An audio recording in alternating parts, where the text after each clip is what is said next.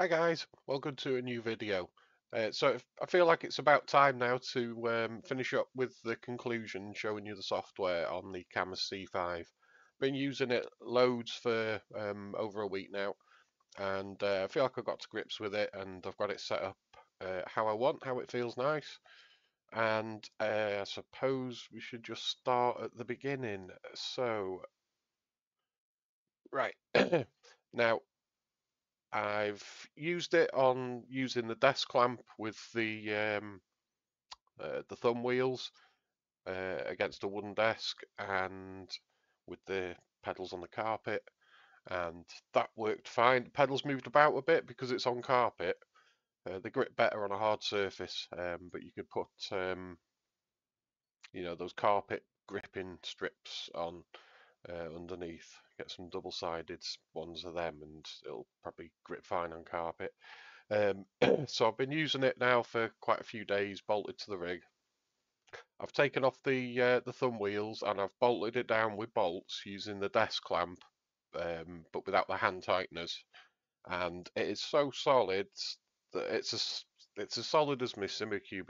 There's no movement at all in this. If I go up and down, the only movement that you'll see is the wheel deck itself actually flexing because this is the next level racing GT track and it's got a bit of flex in the upper deck. It relies on the ends being uh, um, curved over to add strength. It's not that thick. It's only you know maybe two mil thick or something like that. Um, so yeah, any up down movement is just in the wheel deck. There's absolutely nothing in the wheel or the the wheels mount. So yeah, brilliant there. Um, now I'll start by showing you the software, and so let's uh, let's fire that up. Where are we?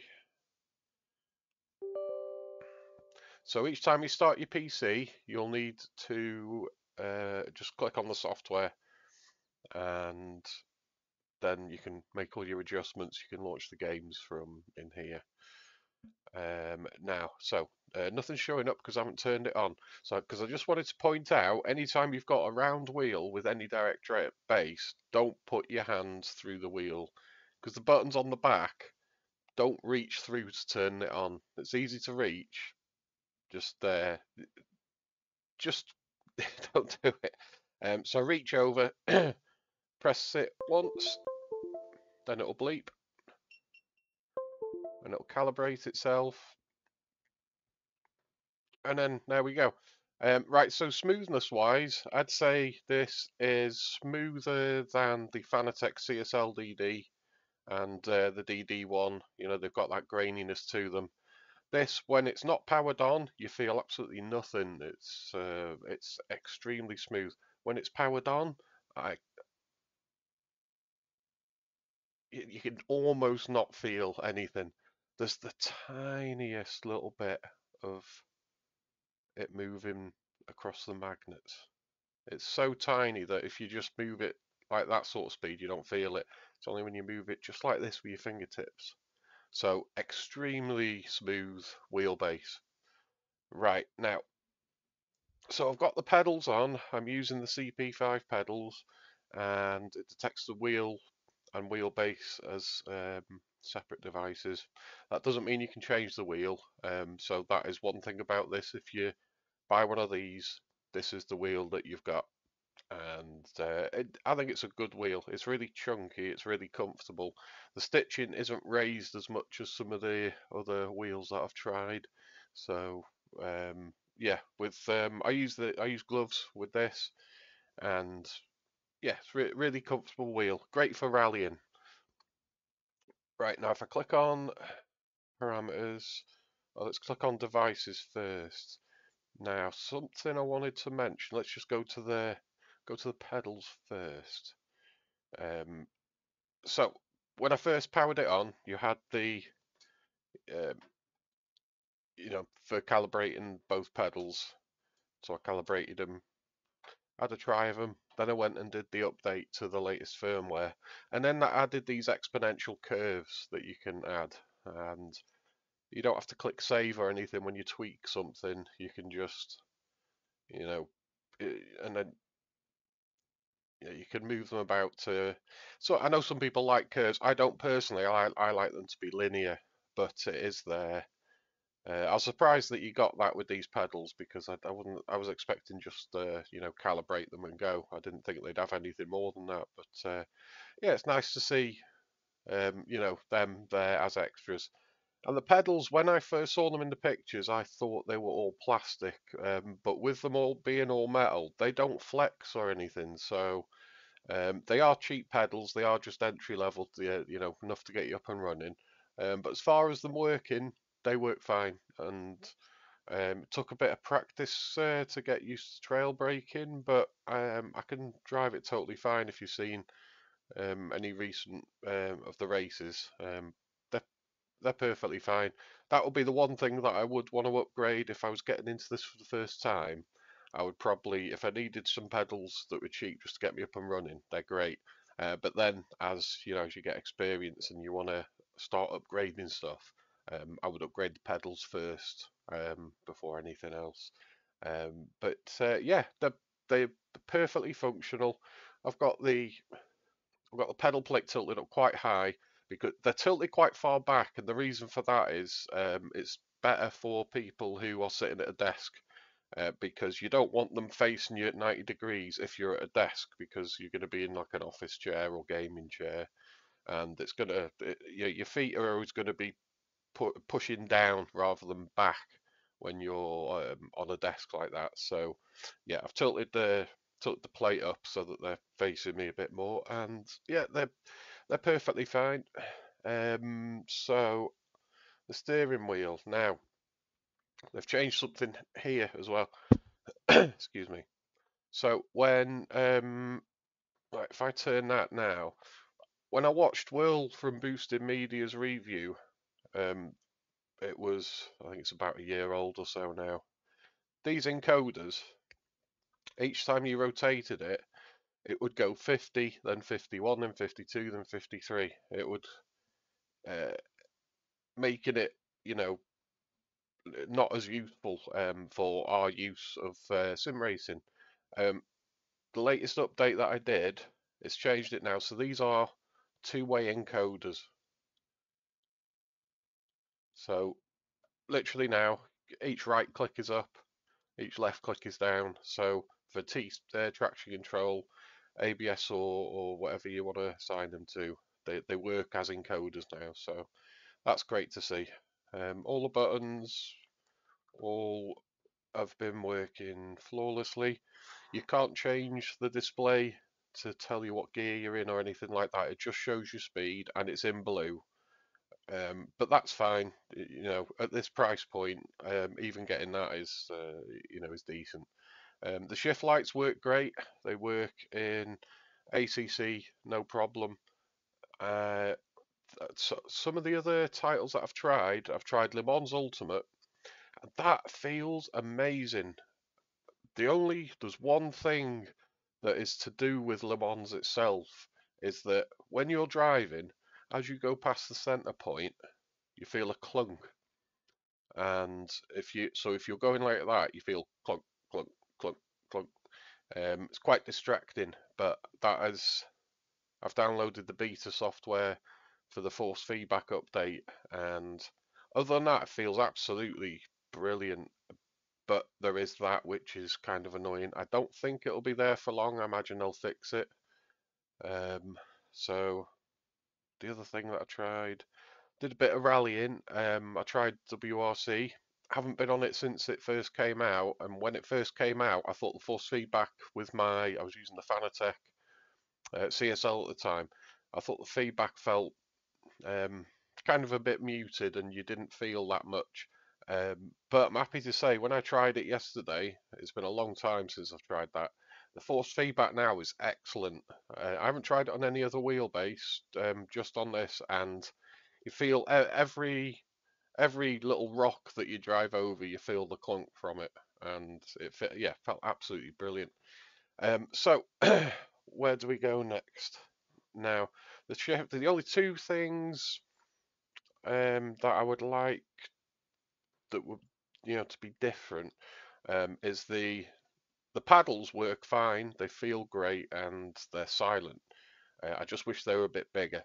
Um, so when I was doing a bit of rallying yesterday, when I was like, you know, had the the wheel uh, slipping through my hands, um, I had to, you know, you, you had to pause your your brain for a moment to make sure that you reach them. Uh, but admittedly, you really should be using the sequential shifter for rallying, and I don't have one. I'll get one one day, but uh, so yeah, I, I wish the paddles were a little bigger. Right, now that this is powered on, uh, this is where you select your steering rotation. So in ACC, you can set your steering angle to zero and then set this. This works for all wheelbases that I've tried. Just leave it at zero and then set the rotation in the software to be whatever the car is that you're using. And then you'll automatically have the bump stop at the right angle. So um, yeah, so like when I get to the back, yeah, you feel the bump stop. And so it'll put it at the right angle. Now I'm not sure exactly why you have this. You can click unspecified or the C5 because nothing I can see actually changes there. Um, so I don't know what that is. Maybe it's something that will become apparent in the future on uh, what it actually is. I, am not sure. Uh, update, this is where you go. This is all the latest firmware um, that, that I've got installed. So you click open update assistant. There, there is um, a beta um, you can opt into as well. Uh, I haven't actually tried that. I just wanted to run the latest um, the, the latest firmware uh, on each of them and yeah work, works good also um, in ACC the one thing that I did notice before I updated it is that the rumble strips, I couldn't feel them when I was going over them. And after I did the update, I noticed when I did uh, a Barcelona race, uh, I can feel them now. It's not as pronounced, um, but it is there. So that the detail and Oulton Park as well. It you felt oh, it's Oulton Park is so bumpy. You felt everything, and uh, was really impressed with that. Um, so we are, that's that covered. Here, so um, natural damping kind of makes it feel a bit like um, you feel the connection from the wheel to the wheels. And I found that if I turned this up high,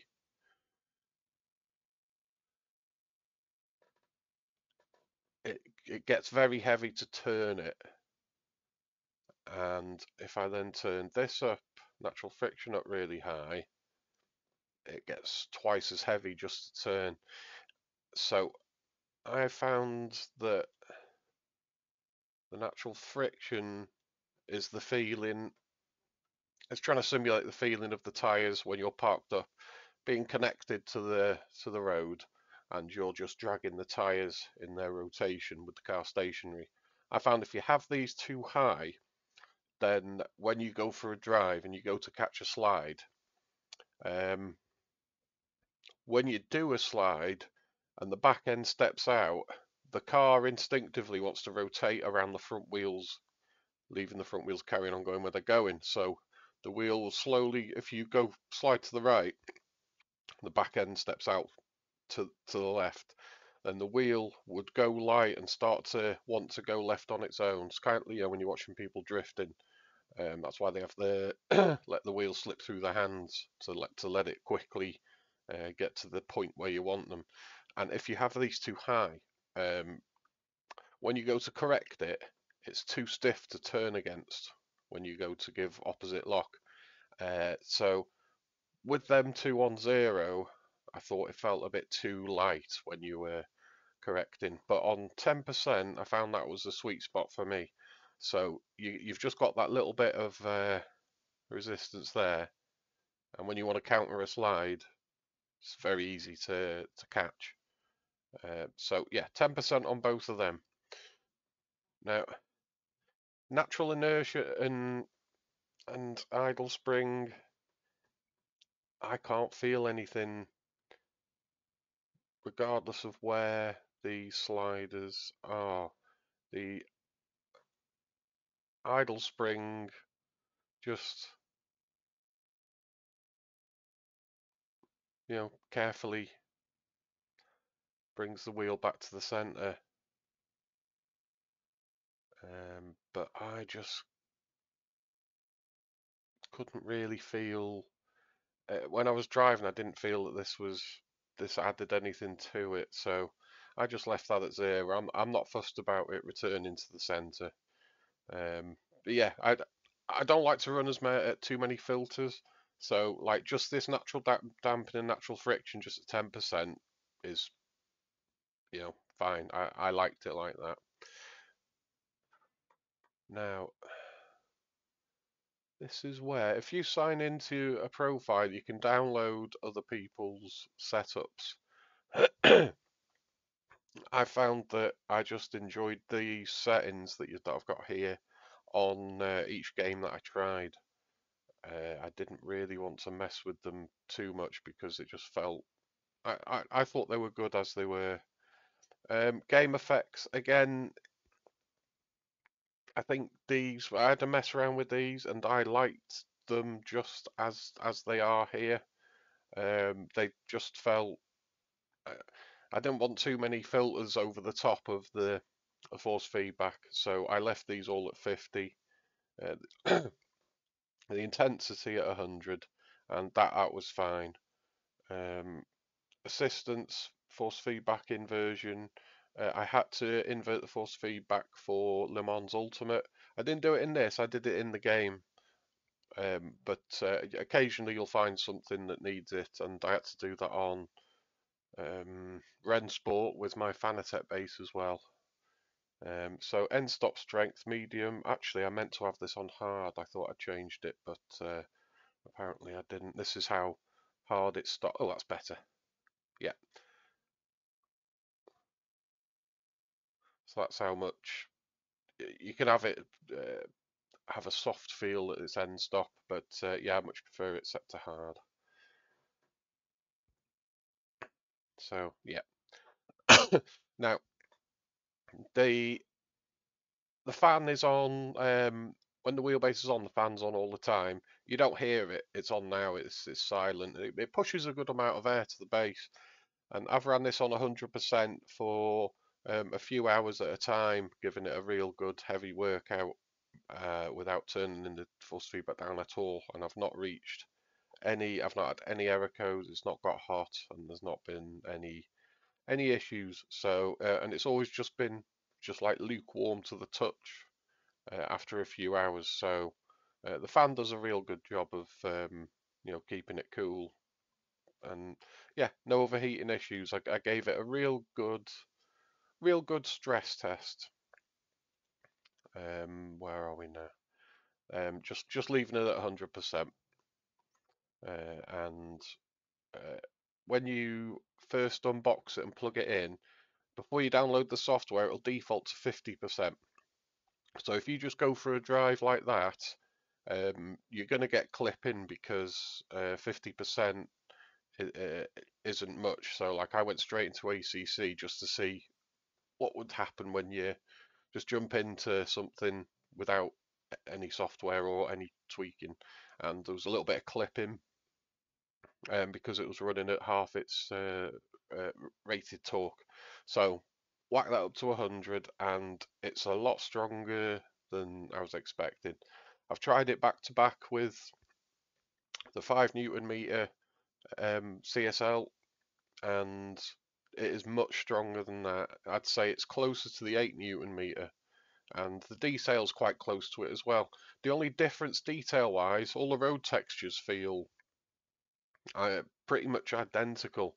The only thing is the rumble strips, you feel them a bit more pronounced on the Fanatec base. Um, and that's it. Everything else feels spot on. I think the reaction time um, or slew rate maybe slightly faster on this than the Fanatec. I can't measure this, so I can't tell you, and there's no figures to um, to let you know with either base what the uh, slew rate is. And manufacturers measure them differently. But I think this feels slightly more responsive when you're going to catch a when you need to catch a slide, um, it just felt a tiny bit quicker to me when uh, I was doing some deliberate uh, slides in ACC just to uh, see, see, what both bases uh, felt like, and it did. It just felt, just felt a tiny bit faster. Uh, people that do a lot of drifting might um, might know because I know um, it's nice to have a fast slew rate with drifting. So uh, people that do drifting might have a better uh, opinion on the the the speed, the slew rate between this and you know Fanatec CSLDD. Right now, that is that is everything there. Let me just settings. That's just for there. If, if you're trying to run Forza Horizon 5, um, you're supposed to tick that box. I don't have uh, Forza Horizon 5, so I I can't say what it's like. Um, but uh, yeah, that's that's where you go for that. Uh, so right, um, let's just jump in and have a little drive. Where is it? Still not used to the having the monitor on the side here. Okay.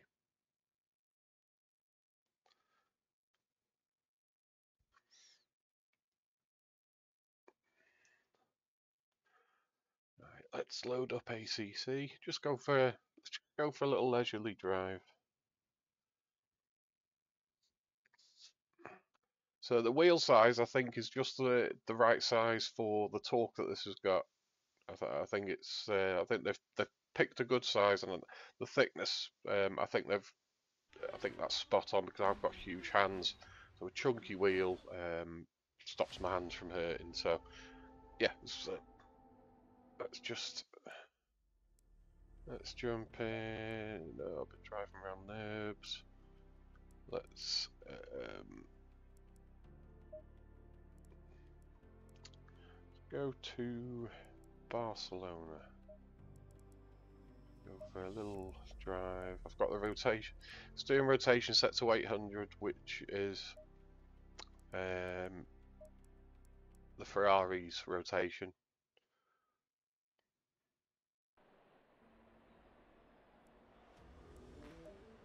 It's just low. I was here the other day, that's why I thought I'd jump in here. It's 20 degrees, 17.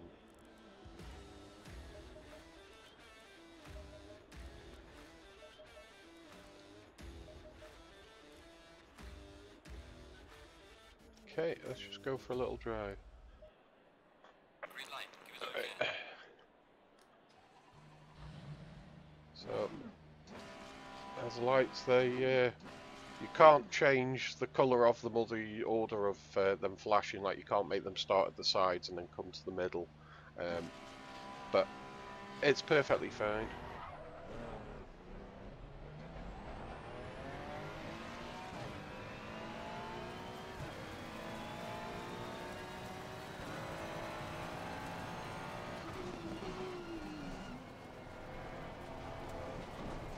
The Ferrari brakes were. I've been uh,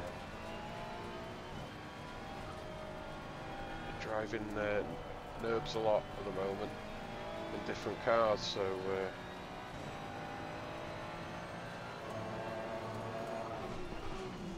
yeah. So like the rumble strips, I'm glad that I can feel them now. They are a little bit muted, uh, but you do feel them, so that's brilliant.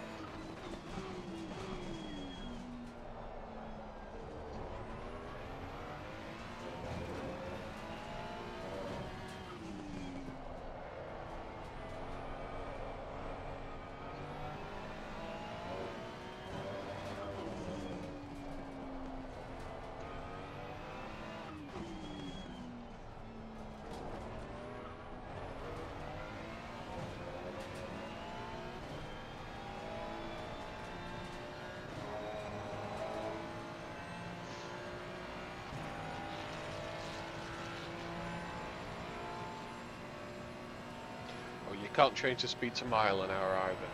I did try to see if I could find it, but uh, yeah, so it's it's, it's in kilometers.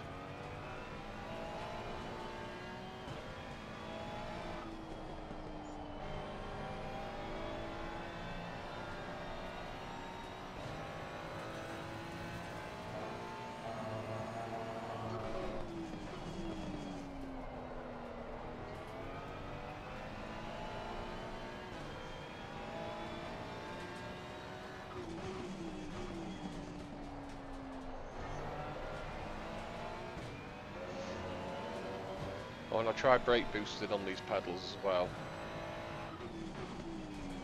It felt quite strange, but uh, managed to do it perfectly fine, so still able to get a decent start, or decent in Ferrari terms, which is it's not the best car off the line, but uh, yeah, so you can brake boost and uh, oh, bit deep. You can brake boots and trail brake on these pedals, just uh, just takes practice.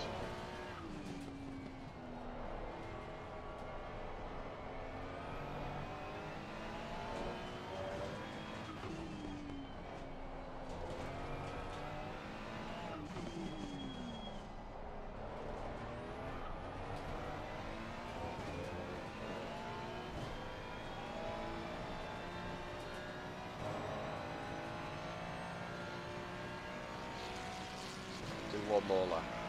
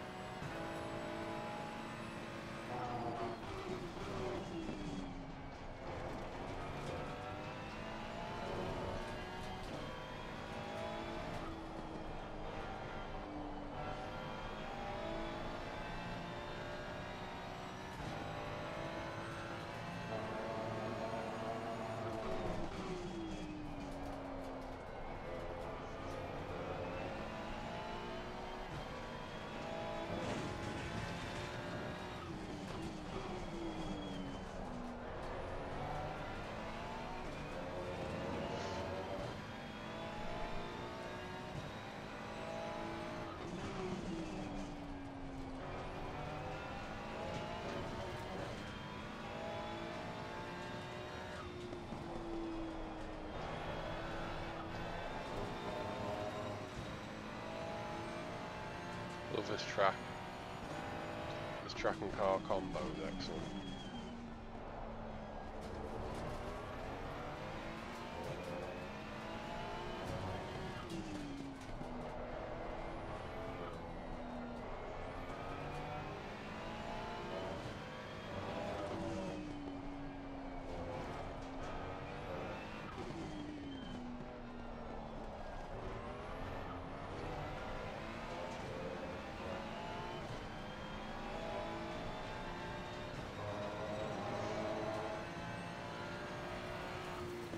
Oh yeah, Well, mate, that's all fastest now.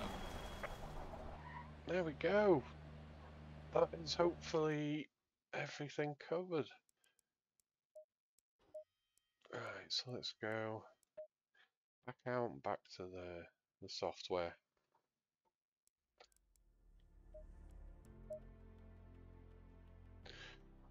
So yeah, final conclusion. Would I buy this with my own money? And if I was on a budget where know my choices were uh, if I couldn't stretch to in, into the DD market, my choices were gear driven or belt driven bases, absolutely 100% I would buy this and I'll be happy with it. And I am happy with it. Um, if you're happy with having the the one wheel, then absolutely brilliant. I would definitely get it with the the desk clamp so that you've got the fan that can neatly mount. Then you've got some tilt adjustment then as well. Um, and yeah, um, if you're, I mean, it's only it's like two hundred and fifty dollars. It's like it's unbelievable. If you want a wheelbase where you can change wheels, uh, you want different rims, formula rims, um, you know, maybe a drifting rim, um, then you'll have to go to something else. Uh, but if you're happy with the, um, th with this wheel in particular, then uh, I think I think anyone would be happy with it. That the force feedback has really surprised me. I was expecting a lot less than what it actually is, and it's definitely giving you very close to the eight newton meters that you get. Um, with I mean I don't know what the the Fanatec CSL DD eight newton meter that's its peak. It's not its constant, so I don't know what their sustained level is, but uh, yeah, I I think it's absolutely brilliant for the money. Um, and yeah, I mean, I, I can't say enough good things. I mean, the only negatives are like I don't I don't like the paddles, um, and I would probably, if I was just starting out, I would probably try and see if I could afford a, a load cell set of pedals. Uh, Cammus have got some load cell pedals coming out, and they, I mean, they look uh, like they could be quite nice. You know, they, they look pretty solid in the pictures. Uh, they're not actually out yet. They're a, they're a pre-order. Um, but yeah, that's it. So that's the that's the the Cammus C5 uh, and where I'm at with it. Um, turn turn it off again. Don't put your hand through the wheel to do it. Just reach around the back, hold the button for a few seconds, and let go. And uh, that's it. Uh, you're off. Um, and um, the list, uh, just one more thing, the list of games that are, are here, uh, it says um, that these are un unavailable and I've been trying to get, where is it? The new WRC, I can't find it now. I was just looking at this last night. Yeah, uh, WRC, I've been trying to get it to move up to the available ones, um, but you've got to add a path, so I haven't added a path. Uh, you've just got to show it where you you've installed it. I've, I've had to install it on a different hard drive. Um, otherwise, that would be then up at the top. Um, so yeah, I mean, I've just been using that same profile, just with the 10% um, on those two sliders, and feels spot on. I'm happy with that. Um, and yep, that's uh, that's it. So I'm uh, sorry it took a while to get to this point, but I wanted to give it a real good workout, and I wanted to do some races with it, um, I, I, wanted to see how how it would run with uh, with it maxed out, with the force feedback maxed out all the time, and uh, give it a real good good test. So uh, yep, brilliant. I'm more than happy to have this as the the, backup wheelbase. Um, if my main rig has any problems, then I know I can. Uh, this is ready to go, and I'll keep on doing races in it because it's it, it's fun. Um, just you know, just being on a smaller monitor, uh, not being completely surrounded by screens. It's nice to just jump into something more more simple and just uh, just click and go. Um, so that's it. That, that's that's where I'm at with it, and I'll be uh, doing some more races this week with it. Um, so yeah, so th thanks again to Cammus for sending it me. Uh, I'm really, really grateful. And uh, the the the affiliate links in the description um, for five percent off. Um, yeah, for a starting wheelbase, uh, I think it's absolutely brilliant. And uh, I agree with all the other uh, YouTubers that have said that you know that it's a really good wheelbase for the price. Yeah, it really is. So, right, thanks very much for coming, and I shall uh, see you in the next race. So, uh, take care, guys. Bye bye.